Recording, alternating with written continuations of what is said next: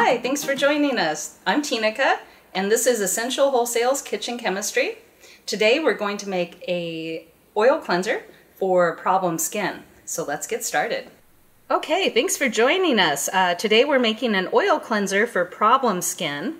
And if you've used an oil cleanser before, you know how great they are. And if you haven't, well, welcome to the world of oil cleansers.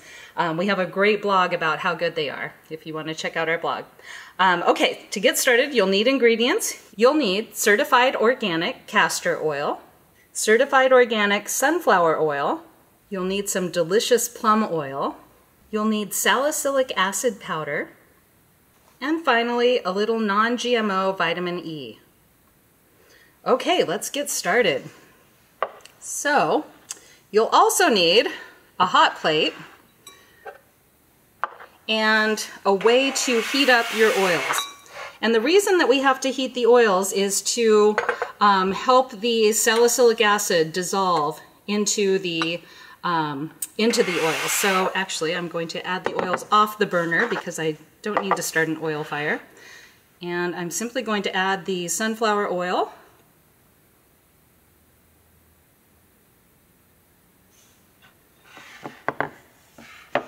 and castor oil.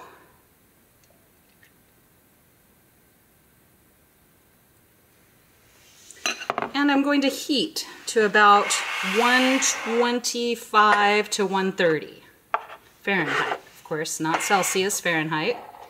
Okay, so we we are going to wait for that to heat up. I might give it a little stir just to blend those oils together better. And we'll just wait for those to heat up. Okay, so we've heated our oil and I went a little bit above 125. I'm actually at, looks like hovering around 150. Um, so that's just fine. Um, now I'm going to add the salicylic acid powder and stir while I'm adding. And actually, come on, get in there. So the reason that we're adding salicylic acid is it's a really great beta hydroxy acid. You'll see it in a lot of um, a lot of products for problem skin. And it's a great thing to add to your cleansing oil routine um, if you have problem skin. Okay, so we're just going to really give that some time to dissolve.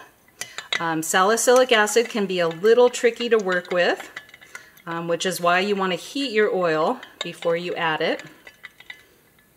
And make sure that it's fully dissolved before you move on to the next step. So I can see on the edges here that it's not dissolved quite yet. It takes a little bit of work to get it there and a little time. And you may find that your oil cools down too much before it's fully dissolved and you have to heat it again.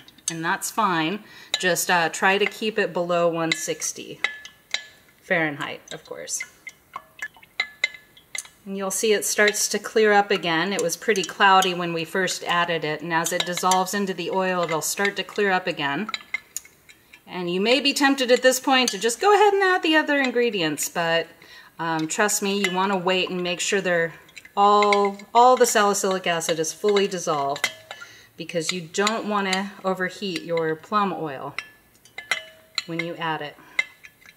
So, while this is mixing and we're waiting for it dissolve, to dissolve, um, a few of the ingredients. So castor oil is a great um, cleansing oil ingredient, especially for problem skin.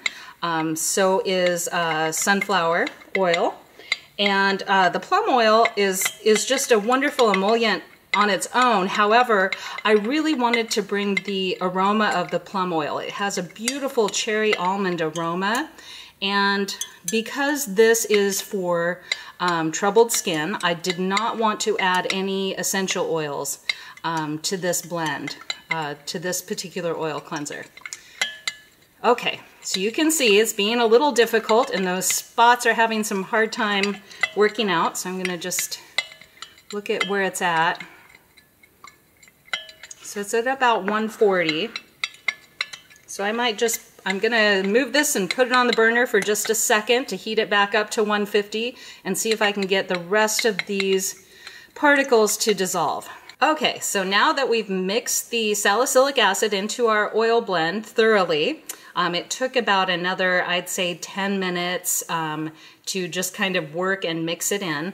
So just take your time and be patient. Eventually everything will dissolve. Um, now we can go ahead and add our plum oil. So we're just gonna go ahead and pour that right in there. And that's, like I said, just to give it that sweet almond cherry cake aroma since I'm gonna be using this every day as my new cleanser. And then of course vitamin E um, is a great antioxidant and uh, it helps prevent your oil blend from going rancid. So it'll keep longer. Just add those in there and mix it up.